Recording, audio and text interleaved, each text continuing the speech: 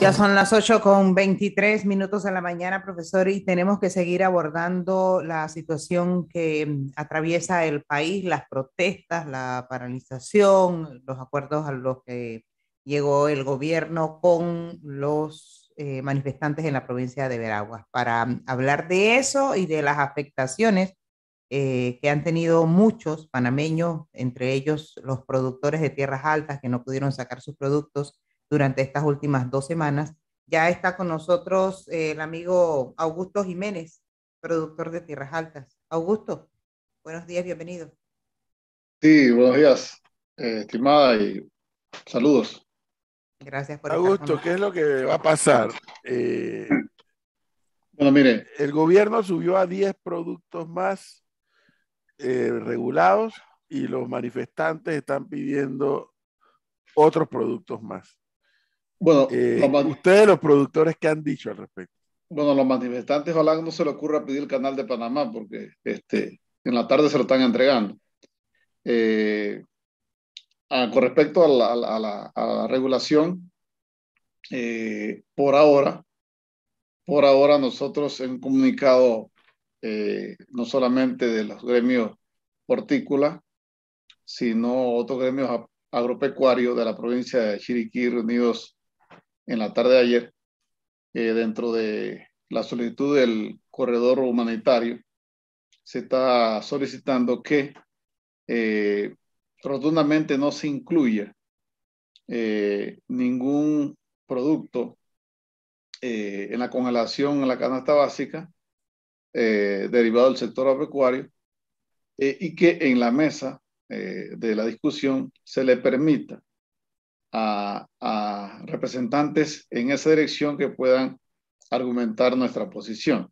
De, hecho, pues, eh, para nadie es un secreto que la medida de control de precios ya, ya comprobada eh, en Panamá, sobre todo en los últimos ocho años, que lo que vino fue a distorsionar y eh, a elevar el producto finalmente al consumidor. Todo esto ha ocurrido porque eh, Panamá estamos huérfanos eh, de una debida representación de los que somos la mayoría, que somos los consumidores. Entonces, por ahora, eh, información que hemos tenido mm, es que la intención de los negociadores, ni, ni, tan siquiera del gobierno, hay que aceptarlo. El gobierno, pues, a esto se le ha escapado la mano. y estamos en un estado anárquico, hay que ser, hay que ser honesto estamos a la merced. Hoy, hoy, hoy tenemos un, un, país trancado, pese de que ayer pues eh, tuvimos eh, en los medios de comunicación escuchando en horas de la noche que había eh, ya acuerdo. Pero bueno, entonces en el tema este de la, la congelación, recordan ustedes que en el 2014, creo, sí, entraron esta medida populista que la, que la convivimos por muchos años y es que eh, hasta que fueron liberándose y en enero de este año eh, se liberó por fin los dos últimos que tenían que ver con lo que es el sector hortícola, que fue papa y cebolla, y que precisamente una vez eh, liberado se demostró lo que los productores decían. nunca antes habíamos tenido, después de tantos años, el, el, el, el mercado este, abastecido eh, con productos, eh, la libre competencia es lo único que va a, a darle la, la, estabilidad en la oferta y la demanda. Entonces, en esa dirección, pues, obviamente sí nos preocupa porque este, en la instrucción los mayores sacrificados serían los dos eslabones más importantes que son el que produce y el que consume. Ahora, lo que yo no he podido entender, y también se lo pregunté hace un momento al, al viceministro Roñoni, si el gobierno, porque parece que el gobierno ha disuadido a los manifestantes de, de no insistir en el control de precios, parece, eso fue lo que a mí me quedó claro, Flor, que como los están convenciendo de no meterse con eso. Eh, ¿Cómo funciona eso? Si el gobierno dice el, el precio de la papa es a 25 centavos la libra y al productor le cuesta un dólar producir esa papa, ¿qué pasa con esa diferencia? ¿Quién la paga? Bueno, primero debo, consultarle, eh, digo, eh, exponerle eh, que yo no, no, no, entiendo los asesores en materia económica del gobierno. Y imagínense que acaban de, de poner en el control de precio el plan, el pan de Michita, el famoso pan de Michita, cuando hay escasez de trigo en el mundo. Entonces, ¿eso que va a traer? Que en las abarroterías esta pequeña va a desaparecer el pan de Michita, eh, porque no, no es factible para la comercialización. Entonces, a su pregunta, eh, ¿qué ocurre? Eh, para efecto de regular la papa o la cebolla, vamos a asumir que se regule a lo que quedó en el 2014, cuando teníamos el 12, 24, 12 a 22 dólares. Eh, el fertilizante a, tres veces menos lo que cuesta hoy día. Y que se pensara así por, por decir, bueno, yo voy a ponerle la papa barata al consumidor. Eso obviamente lo que va a provocar es que, se deje sembrar totalmente y desaparezca. No va a haber papa, no va a haber cebolla, porque eh, ¿quién va a entrar a violar una norma legal cuando tiene un techo eh, de utilidad ya de venta? Pues entonces, eh, este tipo de regulaciones eh, te llevan al producto final. Eh, y el agente comercial, por supuesto, él trabaja sobre un margen definido, que así es lo que pasó por los años que tuvo regulada la cebolla. Y que en, en las veces de la variante, que al mercado no se le da orden. Y de hecho, pues una de las cosas que ayer consideramos es que de una vez por todas, si esta medida eh, porque es una medida populista, ¿no? Cumpliendo esta situación de explosión social que se ha dado legítima en primer lugar y que ya esto, ya creo a mi criterio no es un tema de combustible, no es un tema de canasta básica, de medicamentos, ahí hay otras, otras aristas detrás de esto, eh, desangrando el país y que yo quisiera eh, volver atrás y tener incluso hasta el galón de, de diésel arriba de 5 dólares, no tener la economía como como la han eh, destrampado, usando un término eh, podamos entender. Entonces, eh, es que nosotros no debemos renunciar incluso a proceder legalmente ante los organismos internacionales si, eso, si esa medida prospera, porque esto es violatorio a los convenios internacionales. Nosotros los productores hemos invocado eso, gracias a eso, a ese conocimiento adquirido, hoy es que el marco legal se ha ido poco a poco adecuando y más no podemos renunciar a eso, que es un derecho que nos asiste, por supuesto. Eh, Usted revisa y no existe medida de control de precios en ninguna parte del mundo. Entonces aquí, eh, con ara de bajar eh, el alimento y de cumplir eh, algún tipo de expectativa ciudadana, se prometen este tipo de cosas. La mesa se reanuda hoy en, en, en Santiago. Lo que se nos ha mencionado es que, bueno, no estábamos preocupados porque no, los educadores no conocen de esto absolutamente nada y que, que nos permitieran, pues, eh, presentarnos a esa mesa para argumentar, pero por ahora, por ahora se nos mencionó que parte de ellos, que ellos son los que deciden, ni siquiera el gobierno, así como usted bien lo, lo señala, eh, no van a considerar o, van a excluir la, de la discusión eh, todos los productos que tengan que ver con nosotros. Augusto, ¿ustedes pudieran ya saber a cuánto ascienden las pérdidas eh, producto de estas dos semanas que no pudieron trasladar sus productos a los diferentes mercados? Mire, en la, en la ahora que Tierra Salta viene una situación diferente, porque todo inició acá hace como unos 22 días, por ahí más o menos. El gobierno no supo atender como correspondía eh, y eso fue creciendo, creciendo hasta que lo, ya lo conocemos. Eh, se decía que era imposible para ese momento eh, congelar el precio para todo el país. Imposible. Bueno, eso se ha ido posible, no sé bajo qué.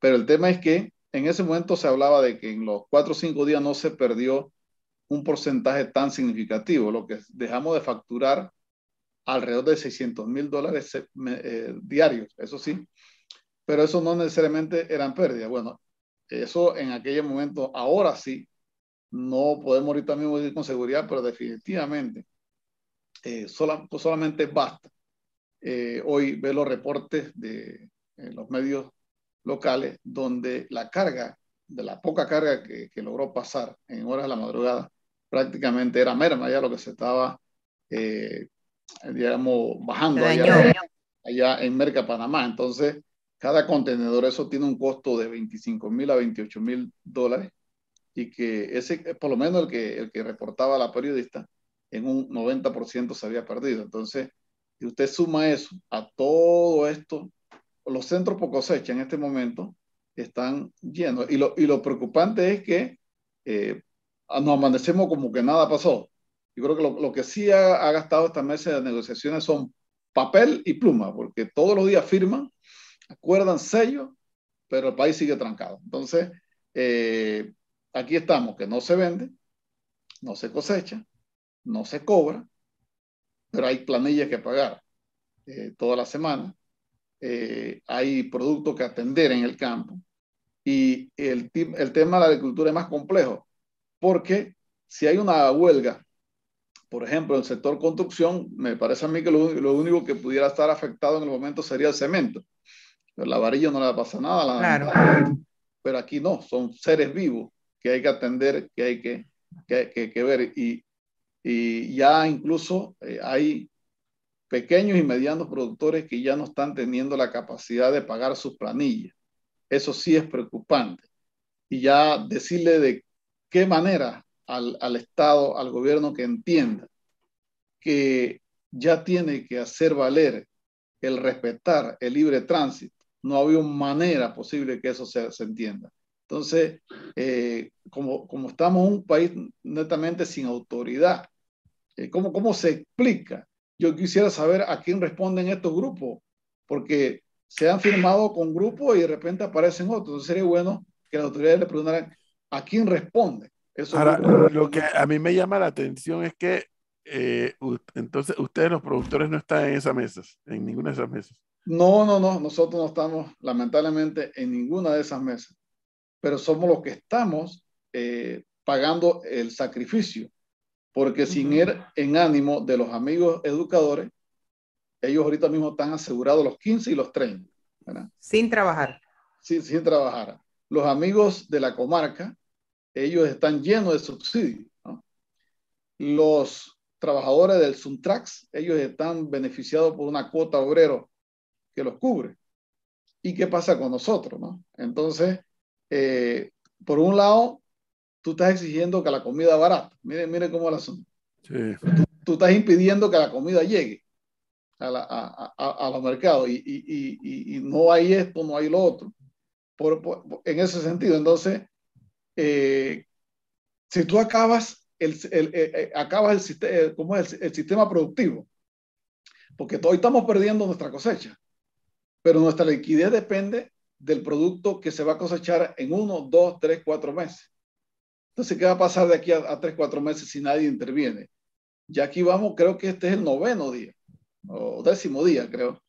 Me parece que fue un viernes en la tarde de la semana anterior y eh, continúa. Entonces, eh, y no solamente nosotros, imagínense ver eh, tomates, ¿verdad?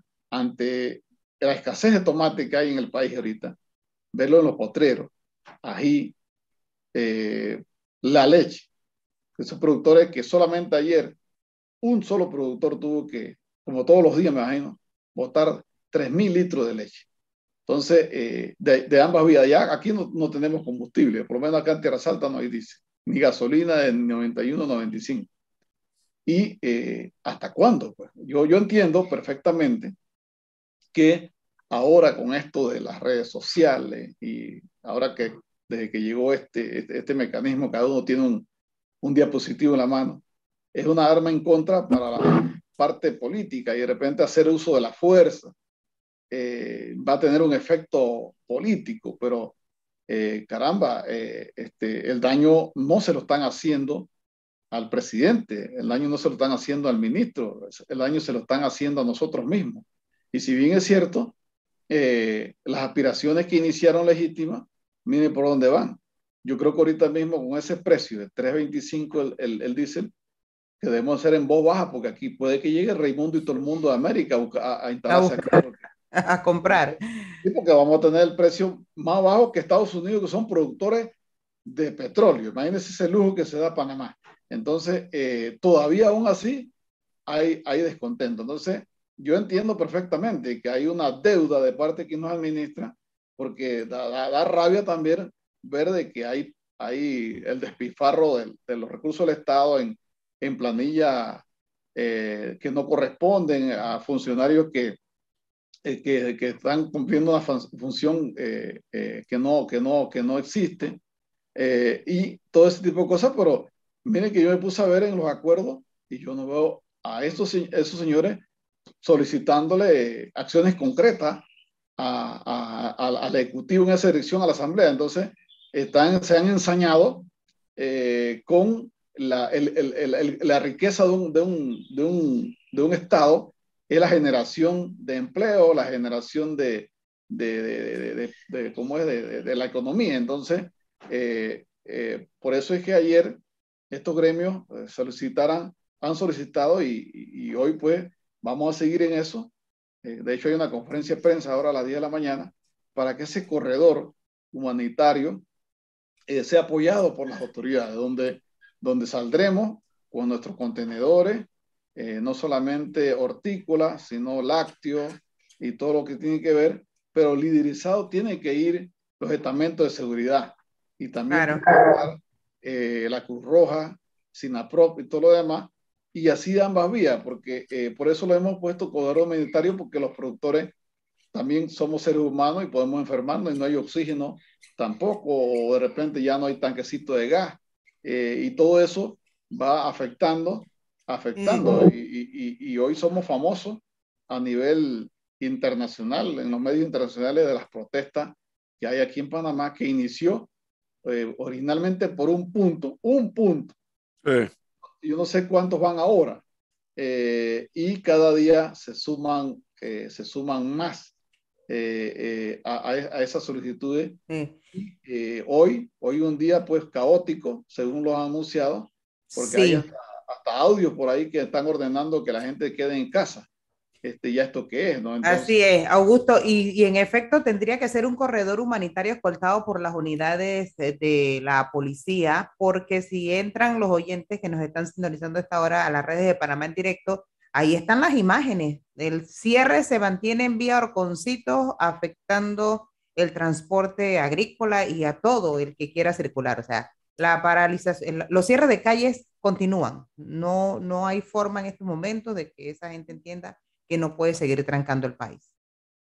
Pero lo están haciendo. Eh, ese es el punto. Eh, eh, ese es el punto. Por eso es que hoy, por ejemplo, ya se pensaba de que hoy comenzaba a, la, a normalizarse, ¿verdad? a normalizarse. Pero nuevamente los intermediarios han parado los pedidos. A esta hora de la mañana, este, este es un cementerio acá en, en Tierra Alta, o sea, se está atendiendo lo que se, está, lo que se, lo que se puede hacer, ¿no? Eh, y cómo, cómo dar el giro. Hace años atrás, eh, los productos estaban aquí perdiéndose porque tienen una competencia eh, de leal o legal, como fuera, Ahora muchos planetas se han alineado por cualquiera que sea. Ese no es el caso ahorita mismo. Y nosotros nos damos el lujo aquí en Panamá de destruir la alimentación. O sea, yo, yo, todavía no entiendo por qué no hay una capacidad de diálogo con estos señores, porque tenemos información que la misma comarca está faltando el alimento, porque, porque ellos también eh, se afectan con la línea de la distribución. Entonces, ¿cómo, cómo, cómo no poder hacer entender? Entonces, eso nosotros queremos hacer. Ayer, tal vez pudimos ser catalogados como movimiento subversivo al hacer este comunicado a la nación porque estos manifestantes que estaban apostados en estas, en estas partes del país estaban invocando que ellos tienen el apoyo popular. Bueno, ese apoyo popular eh, afecta al derecho eh, cuando, cuando ya afecta el derecho a los demás, porque porque el detalle es que, que estos señores, igual y repito, están allí cobrando. ¿verdad? Ellos no tienen problema con eso. Pero entonces, ¿quién nos paga a nosotros? El, aquí, aquí si no se tiene la planilla asegurada todos los fines de semana y precisamente esa planilla se tiene precisamente a la utilidad y, y, eso sin hablar los compromisos comerciales, bancarios y todo lo demás. Entonces, toda la economía se trastoca y vuelvo y repito, el problema es que eh, tú escuchas a una autoridad invocando que estos señores, por su buena voluntad, ¿verdad? dejen las calles. Y bueno, al menos que hoy nuevamente venga otra comisión y negocie con ellos y a ver si no se les antoja ahora como, yo creo que este es como protagonismo, porque por allá fue 3.32, después el otro 3.30, ahora 3.25 y de repente salga otro grupo que quiera negociar eh, otro precio. Entonces, ayer escuchaba a un dirigente decir que ellos esperan ver el decreto ejecutivo en la mano con la congelación de 40 eh, de la cadena básica familiar para poder abrir la calle. Usted sabe lo que eso significa. O sea, eh, a veces decimos cosas que no están apegadas a eh, un debido sustento. Entonces, precisamente por eso es que nosotros eh, hemos solicitado ya no al gobierno como tal, sino a estos señores que nos permitan entrar a la mesa. No se nos ha respondido todavía que eso ocurra. Entiendo que la mesa que está viendo la canasta básica eh, se va a retomar en horas de la mañana, pero no todavía nos han dado eh, nuestra prioridad ahorita mismo es esa y darle la logística. Eh, ya nos tocará hoy llamar allá a las autoridades, ya que ellos no lo han hecho, para decir que cómo ven ellos esa propuesta nuestra, si es escabellada, si es imposible o, o, o ya definitivamente este país lo dejamos se acabaron los productores, se acabaron las cosechas. triste. ¿Qué va, a pasar mañana? Pasado, cuando papa, cebolla, lechuga y ese tipo de cosas. Y no solamente los productores, Augusto, aquí nos dicen oyentes y los independientes, eh, que seamos productores o no, que necesitamos salir a diario a buscar ingresos, que es mucha gente la que ha estado en esa situación, o alguna oportunidad de empleo, estamos igual de afectados. ¿De qué nos sirve el congelamiento del combustible? víveres y medicamentos y estamos dando un golpe mortal a la economía y la situación económica de muchísimo seguirá empeorando. La lucha está totalmente desenfocada en ese sentido. Y aquí me siguen enviando imágenes de todas las áreas donde hay sierra a esta hora. Cinta costera, el tráfico muy afectado por el cierre de los obreros de la construcción.